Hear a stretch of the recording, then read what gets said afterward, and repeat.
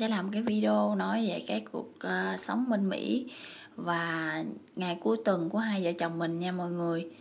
Thì ờ, uh, mọi bữa là thường á, trời còn khá lạnh cho nên á, mình không có đi chơi. Cũng như là không có hoạt động nhiều ở ngoài trời và hôm nay trời khá là nắng ấm cho nên mình sẽ quay video cho tất cả mọi người xem. Đó thấy ờ, khói mịt mù không? Đó là do cái máy cắt cỏ ờ, mình để qua cái mùa đông á. Nó bị ờ, đông lạnh lại và cái nhớt nó không có được êm xuôi á. Bây giờ mình bắt buộc mình phải ờ, đề máy lại và chỉnh sửa máy móc một chút.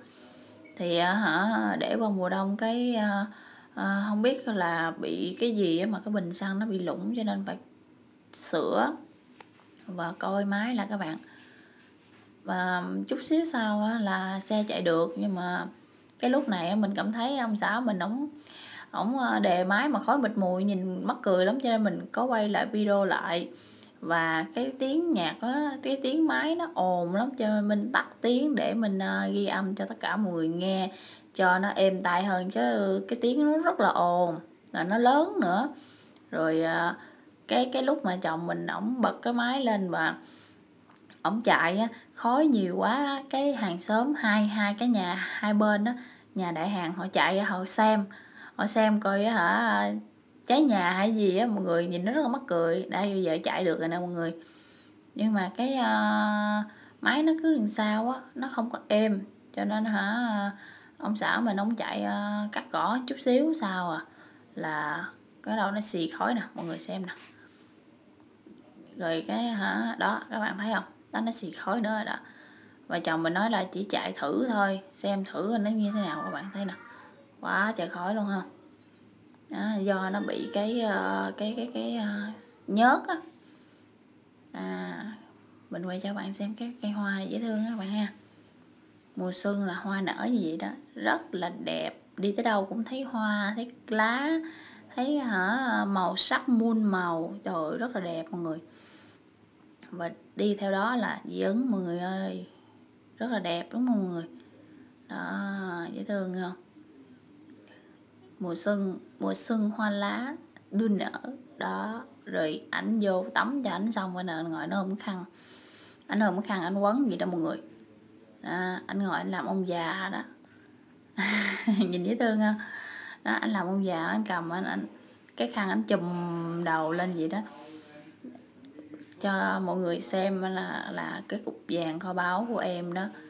À, từ sáng tới chiều có ờ, ở với ảnh thôi mà rất là vui. Đỡ bị stress khi mà bước chân qua đến Mỹ sống. Nó cũng làm cho mình à, bớt căng thẳng và buồn nhớ nhà đó mọi người. Đó.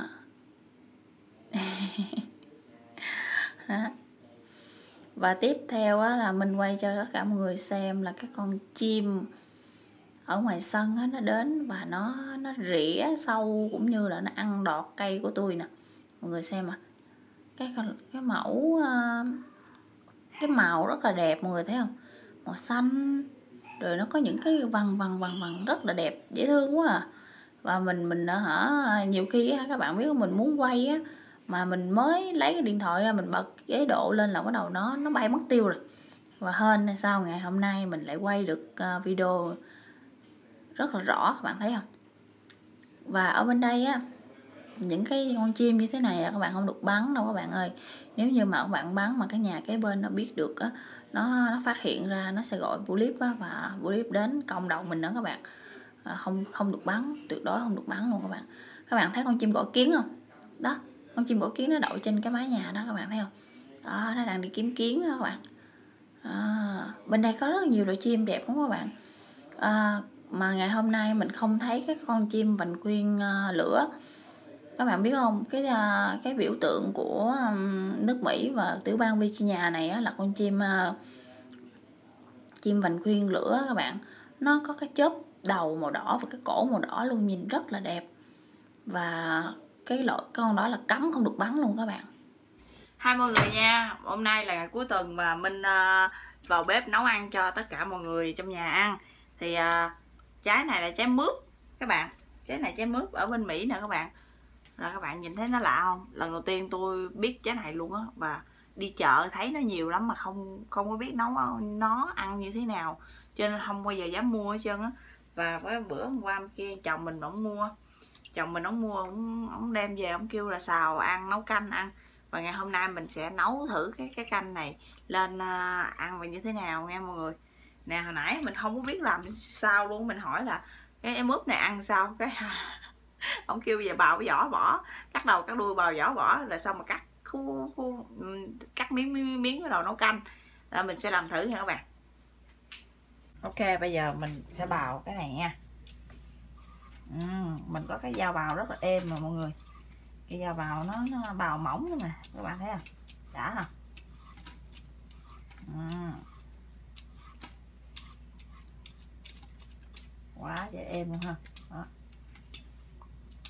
cái da bào này ở bên Việt Nam của mình có nhiều lắm mọi người. Cái này là họ nhập từ bên Việt Nam qua các bạn. Đó nhanh. Bào nhanh cực kỳ luôn à. sao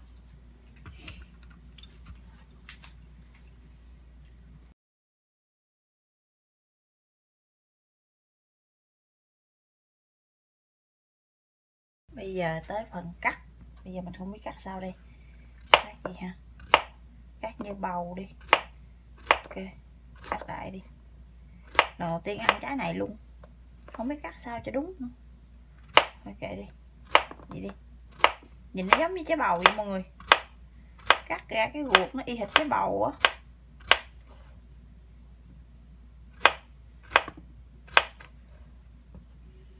Giống ờ, trái bầu ghê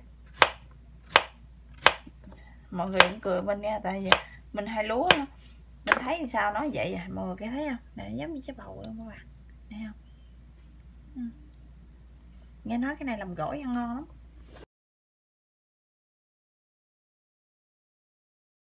Các bạn ơi bây giờ mình à, à, bỏ à, tôm khô vô rồi để cho nó ra nước và à, mình bỏ à, tôm tươi vô nữa.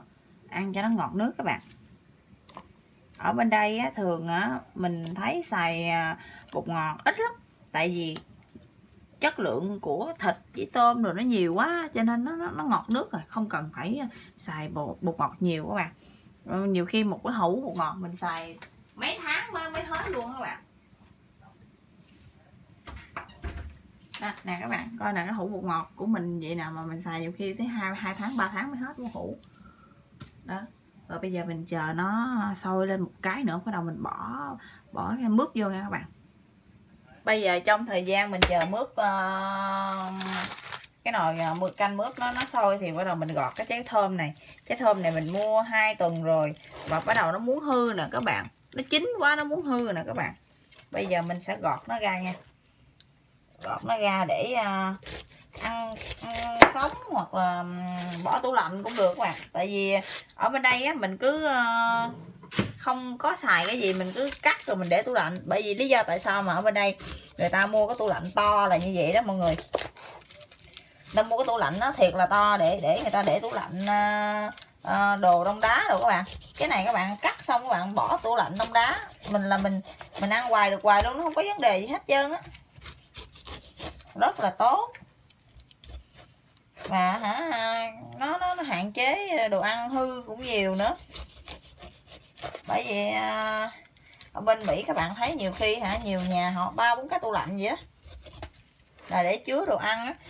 Có ví dụ như mùa xuân năm nay cái mình trồng ớt đi cái xong cái mùa xuân năm sau cái mình à, à, mình cắt mình cắt bỏ cái mình cất vô cái tủ à, tủ lạnh mình ăn qua mùa đông. Đó là cách trữ đồ ăn ở bên mỹ đó các bạn mà mình cảm thấy nó rất là hay.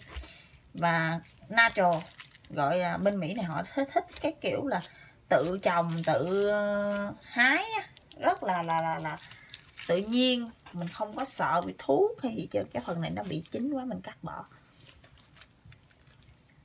Bạn thấy không? Chín quá trời luôn nè. à.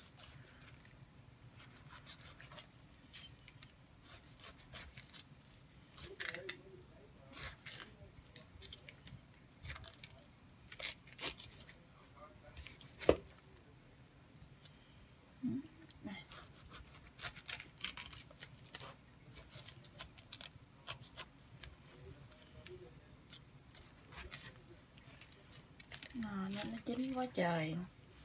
Phải hai hai ba ngày à, trước mình cắt thì nó sẽ không có bị. Nó chín tới phần này luôn các bạn ơi. Uổng ghê ha. Mà thôi kệ. Thơm á bên đây á rẻ lắm các bạn. Một trái gì rẻ lắm cho nên nó thường á hả? Uh, chị à, chị của mình mà bà hay mua ta hay mua để nhà.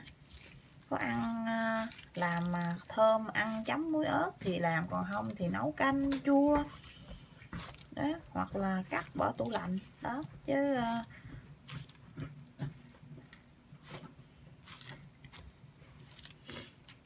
bây giờ cái nồi canh của mình nó đã sôi rồi. Mình sẽ bỏ cái uh, mướp vào nha mọi người. Vớt cái bọt này ra cho nó trong cái nồi canh. Đó. Rồi xong mình sẽ bỏ mướp vào. Wow wow wow wow. Đó.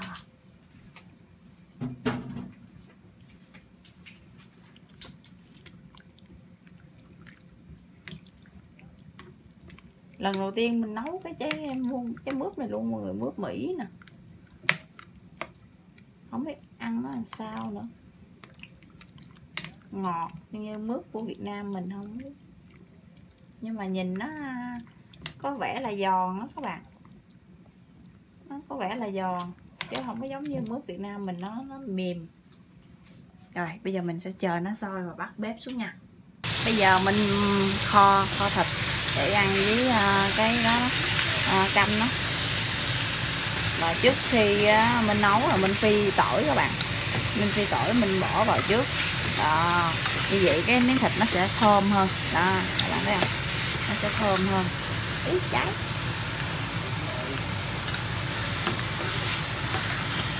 Rồi bắt đầu mình mới nêm dặn lửa nhỏ lại và bắt đầu nêm nếm nha. Đây mình nêm nếm xong rồi đây bắt đầu sắp lên. Sắp lên nha các bạn.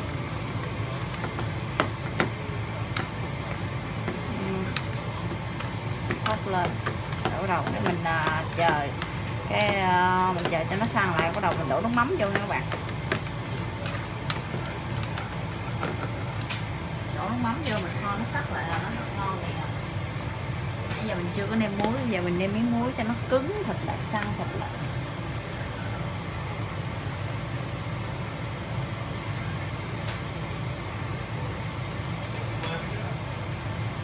mình xịt nước mắm vào cho nó ờ, thấm, cho nó có gia vị ờ, nước mắm nó ngon hơn, đậm đà hơn. Đó, mình nấu ăn rất là đơn giản mọi người ăn theo cái phong cách của Việt Nam á các bạn.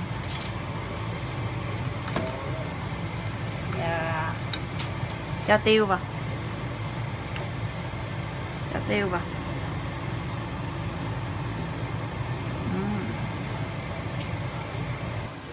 Xong rồi, bây giờ mình sẽ ăn thử cái à, món canh này xem như thế nào nha mọi người.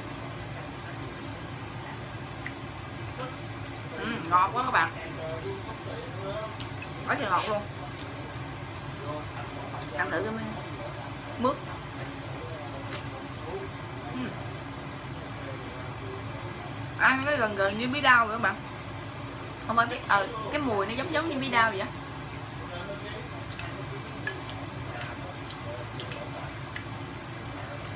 ừ. cái này nó cũng ngon. Mau chín các bạn bỏ vô, các bạn mà thấy nó nó chuyển cái cái cái phần phía trong này nè mà nó chuyển là màu trong trong rồi đó. Đó là nó chín tới rồi uhm. Ừ.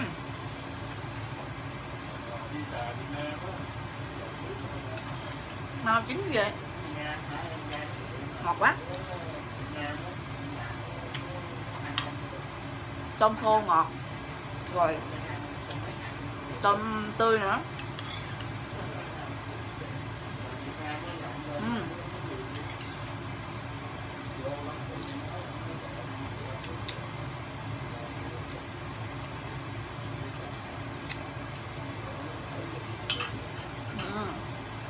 quá tuyệt vời. Ngon ngon.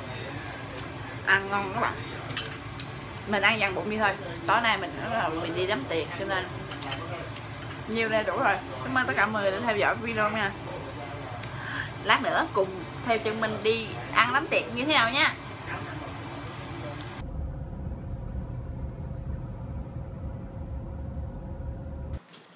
Và cái uh, buổi tiệc ăn chơi của mẹ con chúng em ngày chủ nhật đã kết thúc rồi. Cảm ơn tất cả cô chú anh chị đã theo dõi video nha.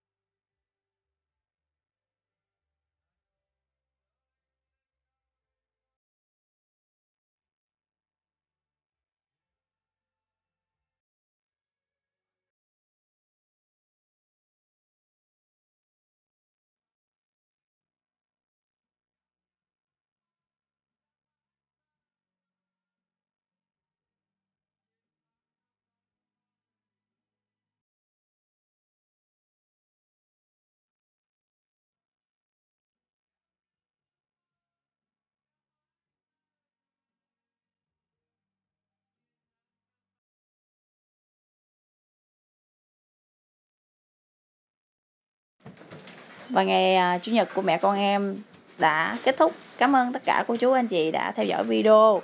À, hẹn gặp lại mọi người vào những video sau nha.